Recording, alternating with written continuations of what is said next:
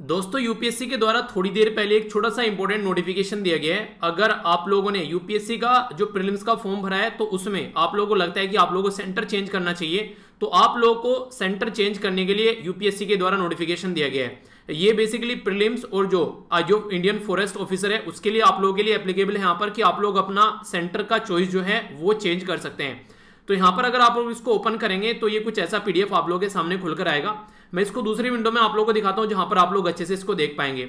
तो यहाँ पर आप लोग देखिए, ये आज का ही नोटिफिकेशन है, यानी कि नाइन्थ ऑफ़ जुलाई को। ये नोटिफिकेशन दिया है कि अगर आप लोग अपना सेंटर चेंज करना चाहते हैं, जो 10 तारीख को एग्ज़ाम है, यानी कि 10 अक्टूबर को जो एग्ज़ाम होने वाला है, उसका अगर सेंटर आप लोग चेंज करना चाहते हैं, क्योंकि ये 10 अक्टूबर जो डेट दी गई थी, वो रिवाइज कैलेंडर के हिसाब से दिया गया था। मैंने एक वीडियो भी आप लोगों के लिए बनाई थी, कि जिसमें कौन कौन सी डेट अभी चेंज कर कर एक नया कैलेंडर आया यूपीएससी का।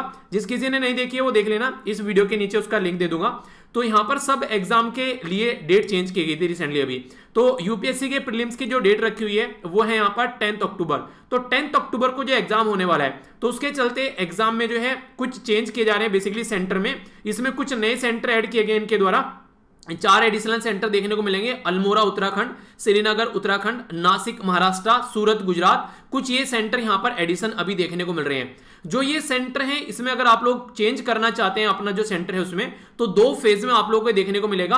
12 से लेके ये 19 जुलाई तक है, जो पहला फ़ेज़ रहेगा शाम को 6 बजे तक, और दूसरा फ़ेज़ जो रहेगा 26 से लेके 30 जुलाई तक है शाम 6 बजे तक। यानी कहने का मतलब यह है कि दो फ़ेज़ में आप लोगों को चांस दिया जाएगा कि आप लोग यहाँ पर सेंटर चेंज कर सकते हैं। पहला फ़ेज़ 12 से 19 तक रहेगा। मैं आप लोगों को यहाँ पर सजेशन ये दूँगा कि 12 से 19 वाले में ही चेंज कर लेना, क्योंकि यूपीएससी का हमेशा एक फंडा रहता है। वो है यहाँ पर इनका क्या? ये फ़र्स्ट अप्लाई फ़र्स्ट अलोट यानी कि फ़र्स्ट कम फ़र्स्ट सर्व वाली बात रहती है, जिसको पहले मिल जाएगा मिल जाएगा, और फिर बाद में तो फिर वही रह जाता है। तो यहाँ पर आप लोग देखेगा यूपीएससी ये को UPSC basically online dot nic dot in ठीक है?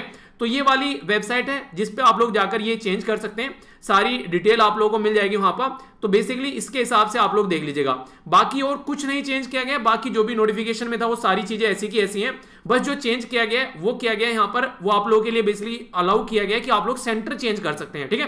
तो एक छोटा सा नोटिफिकेशन था, हो सकता है कि किसी के लिए इंपॉर्टेंट हो तो जिसको लग रहा है कि इसमें कोई आप लोगों को चेंज करना है अपने सेंटर में तो आप लोग चेंज कर सकते हैं। तो दो विंडो याद रखना, यहाँ पर 12 से लेके 19 जुलाई है, और दूसरी 26 से लेके 30 जुलाई है।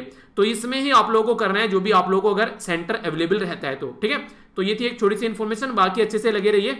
जो भी आप लोग प्रिपरेशन कर रहे हैं रिवीजन ज़रूर करते रहिए। जो करंट अफेयर की रिवीजन की सीरीज़ है, उनको आप लोग ज़रूर देखिएगा एक बार। एक एक महीने की करंट अफेयर की रिवीजन की सीरीज़ आप लोग की कवर की गई है। तो सारी चीज़ें आप लोग एक जगह इकट्ठी मिल जाती हैं, ठीक है? तो रिवाइज जितना कर सकते हैं, उतने ज़्यादा करिए, ठीक है? All the best all of you